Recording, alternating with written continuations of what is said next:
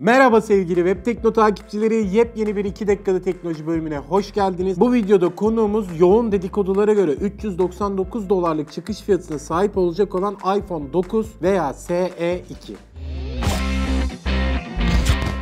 Şimdi arkadaşlar bu 399 dolarlık fiyat meselesi aslında güçlü bir dedikodu ama Apple'a çok yakın kaynaklara dayandırılan güçlü bir dedikodu. Şimdi güncel tabloya baktığımız zaman işte dünyada yeni çıkan özellikle bu Çinli telefon firmalarının Apple'ın pazar payındaki pastadan artık büyük büyük dilimler alması sonucunda bence Apple böyle ucuz bir model yoluna gidebilir. Yani bu 399 dolarlık fiyat etiketi bana soracak olursanız doğru olabilir. Çünkü şunu birkaç videoda da belirtmiştim arkadaşlar. Ekonomik kriz sadece bizim ülkemizi değil, dünyadaki bütün satın alma trendlerini etkiledi. Yani o yüzden basit bir mantık hesabıyla Apple'ın bu sene çıkaracağı Mart ayında çıkması beklenen bu cihazlarının hakikaten bu kadar düşük fiyatla çıkma ihtimali yüksek. Şimdi günümüz dolar kurunda 399 doları TL'ye çevirdiğimiz zaman 3 aşağı 5 yukarı 2410 lira, 2405 lira gibi bir şey çıkıyor. Şimdi bu Türkiye'ye geldiğinde tabii ki de fiyat bir 4000-5000 baremine dayanacaktır. Ama yine de sadece Apple cihazlar içerisinde çıkan güncel Apple telefonların yarı fiyatına olma özelliği bu cihazda etiket olarak yer alacak. Peki bu cihazın olayı ne olacak? Öncelikle telefonun adı büyük bir ihtimalle iPhone 9 olacaktır. SE2, SE4 gibi takıntılar bana soracak olursanız yer almayacaktır. Bunu da bir önceki videoda ticari bir hamle olarak sizlere anlatmıştım. Şimdi teknik özellik, tasarım vesaire vesaire gibi detaylara geleyim arkadaşlar. Artık günümüzde esamesi bile okunmayan hatta Apple kullanıcıları artık istemekten vazgeçtiği home butonu bu cihazda yer alacaktır. Home butonuna bağlı olarak da bir parmak izi okuyucu sensör mutlaka cihazda yerleştirilecektir. Yani şimdi buradan anlayabiliyorsunuz arkadaşlar telefonun tasarım olarak genel görüntüsü bir tık çerçeveleri kalın olan günümüz trendlerine göre iPhone 8'e benzeyecek. Yani bu bilgilere bağlı olarak ekran boyutumuzun 4.7 inç olacağını söyleyebiliriz. Çözünürlüğü ise 1334'e 750'lik Retina HD olacaktır. Şimdi gelelim işlemci kısmına. İşlemci tarafında iPhone 11 Pro'larda kullanılan A13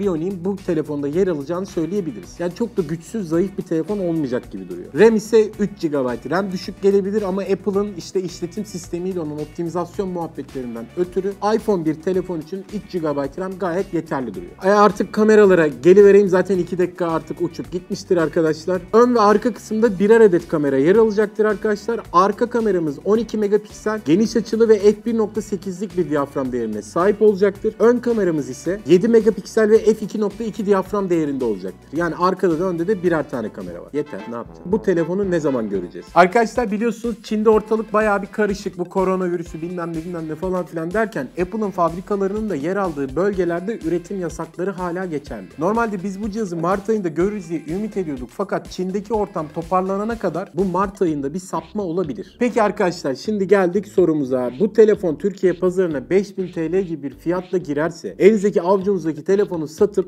iPhone 9 alır mıydınız? Anketimiz hemen şurada. Şimdi sizlere vermiş olduğum 2 dakika sözünü tutabilmek için hızlıca buradan kaçmak istiyorum derdim. Fakat hava muhalefeti ve videomuzun da bence artık 2 dakika geçmiş olmasından ötürü bu videonun finalinde masanın altına gireceğim. Başka videoda görüşürüz arkadaşlar. Şurada beğen butonu var. Unutmayın beğenmeyi. Hoşçakalın. Ben de masanın altına doğru. Adet yerini bulsun. Kafayı toprağa gömmüş leylek gibi oldum. Ekranda duran bağlantılarda farklı videolar var arkadaşlar. Hemen ortada da abone ol butonu var. Ona basarak kanalımıza abone olabilirsiniz. Hoşçakalın.